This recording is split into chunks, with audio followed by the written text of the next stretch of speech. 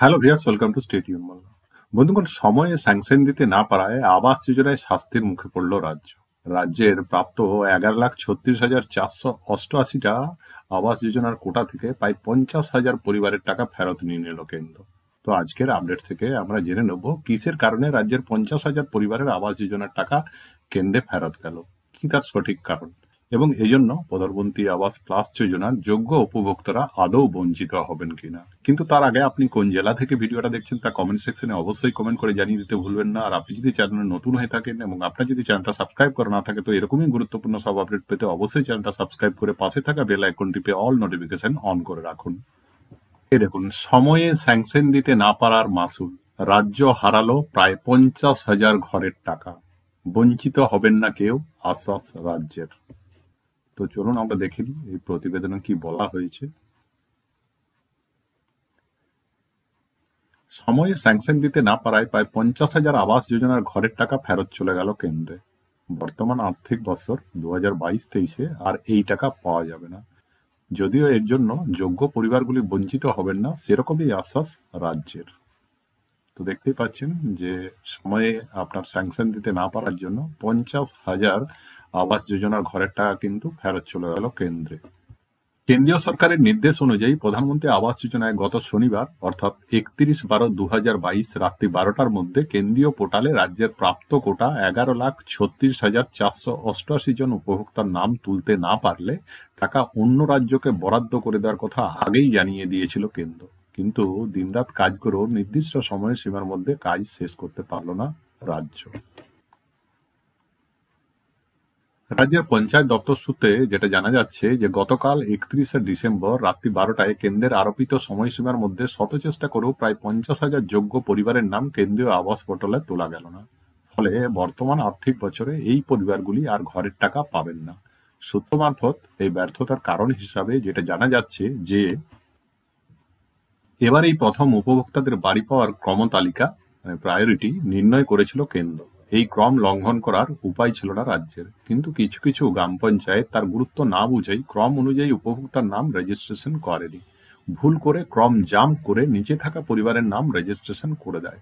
কিন্তু জেলায় পোর্টালে ক্রম অনুযায়ী নাম প্রদর্শিত হতে থাকায় তালিকার নিচে থাকা উপভোক্তাদের নাম জেলায় অ্যাপ্রুভ করতে পারেনি। ফলে ওই সকল গ্রাম পঞ্চায়েত আবাস যোজনার কিছু কোটা ল্যাপস করে। আপনারা জানেন যে প্রধানমন্ত্রী আবাস যোজনায় কোনো একটা গ্রাম পঞ্চায়েত যে কোটা পায়, তার থেকে তাদের বেনিফিশিয়ারি লিস্ট অনেক বেশি থাকে। তো তার একটা প্রায়োরিটি লিস্ট সেট করতে হয়। এটা আগে গ্রাম পঞ্চায়েত করতো, কিন্তু এই প্রথম কিন্তু এটা কেন্দ্র করেছিল। কেন্দ্রের যে প্রধানমন্ত্রী আবাস যোজনা গ্রামীণ পোর্টাল আছে, সেখান থেকে অটোমেটিক্যালি কিন্তু এবার প্রায়োরিটি তালিকাটা তৈরি হয়েছিল এবং বলা হয়েছিল যে এই প্রায়োরিটিটা কিন্তু মেনটেন করতে হবে। কিন্তু কিছু গ্রাম পঞ্চায়েত কি করেছিল প্রায়োরিটি অনুযায়ী পরপর কিন্তু রেজিস্ট্রেশন করেনি। তারা হ্যাপাজেট রেজিস্ট্রেশন করে দেয়। ফলে নিচে থাকা কোনো পরিবারের রেজিস্ট্রেশন করলেও সেই পরিবারটা কিন্তু ডিস্ট্রিক্ট পোর্টালে দেখা যায় না এবং ডিস্ট্রিক্ট তার অ্যাপ্রুভও দিতে পারেনি। এর ফলে কি হয়?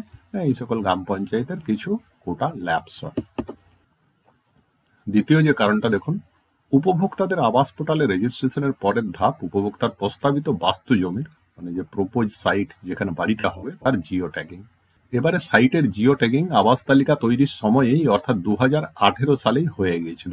কিন্তু কিছু গ্রাম পঞ্চায়েত, বিশেষত যারা ঘরের কোটা বেশি পেয়েছিল, উপভোক্তাদের নাম পোর্টালে রেজিস্ট্রেশন করার সময় খেয়াল করে জিও ট্যাগিং করা নেই। প্রথম দিকে কয়েকটি ক্ষেত্রে হাতে সময় থাকায় পঞ্চায়েত মাঠে নেমে জিও ট্যাগিং করে দিলেও বেশ কিছু পরিবারের বর্ষ শেষের রাতে বাড়িতে গিয়ে জিও ট্যাগিং করার বাস্তবতা ছিল না। ফলে বেশ কিছু পরিবারকে এই কারণে স্যাংশন দেওয়া সম্ভব হয়নি। অর্থাৎ আপনারা বুঝতেই পাচ্ছেন যে রেজিস্ট্রেশনের পরের ধাপেই হচ্ছে আপনার যে প্রপোজ সাইট যেখানে উপভোক্তার বাড়ি হবে, তার জিও ট্যাগিং। তো এইবারের এই জিও টেকিংটা আপনার দু হাজার আঠেরো সালেই হয়েছিল এবং পঞ্চায়েত জানে জিও টেকিং হয়ে আছে। কিন্তু বাস্তবে যখন পোর্টালে রেজিস্ট্রেশন করছে, সেই সময় দেখে যে কিছু লোকের জিও টেকিং করা নেই। তো হাতে তো কম সময় আছে। প্রথম দিকে আপনার ছাব্বিশ, আঠাশ তারিখে উপভোক্তাদের বাড়ি বাড়ি গিয়ে কিছু জিও টেকিং করে, কিন্তু বর্ষ শেষের রাতে যে সকল পরিবারগুলো দেখা যায় জিও টেকিং করা নেই, সেগুলো কিন্তু আর ওই রাত্রিবেলায় গিয়ে জিও ট্যাগিং করতে পারে না গ্রাম পঞ্চায়েত। ফলে এই লোকগুলো কিন্তু রেজিস্ট্রেশন করা যায়নি এবং আলটিমেটলি তাদের স্যাংশন দেওয়াও সম্ভব হয়নি। এর জন্য আপনার গ্রাম পঞ্চায়েতের কিছু কোটা কয়েকটা ক্ষেত্রে ল্যাপস হয়।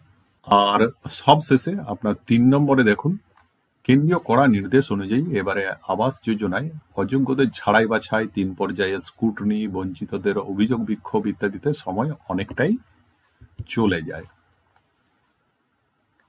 এসবে নিষ্পত্তি করে পোর্টালে নাম তুলতে পঞ্চায়েতগুলো সাকুল্যে হাতে সময় পায় মাত্র তিন চার দিন। যে কারণেও আবাস যোজনায় কোটা অনুযায়ী রেজিস্ট্রেশন ও স্যাংশন করা সম্ভব হয়নি। তো দেখতেই পাচ্ছেন যে পঞ্চায়েতের হাতেও সময় ছিল না, কারণ আপনারা জানেন যে আবাস যোজনা গ্রামীণ নিয়ে ব্যাপক আপনার বিক্ষোভ, আন্দোলন হচ্ছে। তাছাড়া সেগুলো সার্ভে করার ব্যাপার ছিল, তারপর আবার অভিযোগের কারণে সেগুলো রিসার্ভে করার ব্যাপার ছিল। ফলে পঞ্চায়েতগুলো সাকুল্যে কিন্তু তিন চার দিনের আপনার মোটামুটি এই ছাব্বিশ তারিখ থেকে শুরু করেছিল। ওই তিন চার দিন আপনার রেজিস্ট্রেশন এবং স্যাংশন করার সময় পায়। যে কারণে কিন্তু দু একটা গ্রাম পঞ্চায়েতে কয়েকটা কোটা কিন্তু ল্যাপস হয়ে যায়।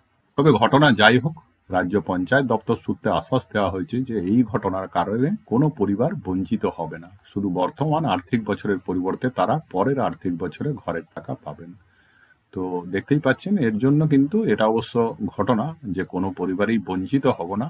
শুধু এখন এই মুহূর্তে আর কি তাদেরকে পিছিয়ে যেতে হবে। বর্তমান আর্থিক বছরে দু হাজার বাইশ তেইশে আর তারা টাকা পাবেন না।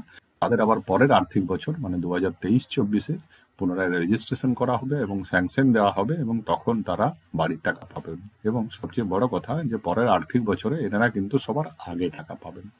তো বন্ধুগণ, প্রধানমন্ত্রী আবাস প্লাস যোজনায় প্রায় পঞ্চাশ হাজার পরিবারের টাকা কেন্দ্রে ফেরত যাওয়া সংক্রান্ত যে আপডেটটা সেটা এটুকুই ছিল। ভালো থাকবেন, সুস্থ থাকবেন, দেখা হবে পরের আপডেটে ধন্যবাদ।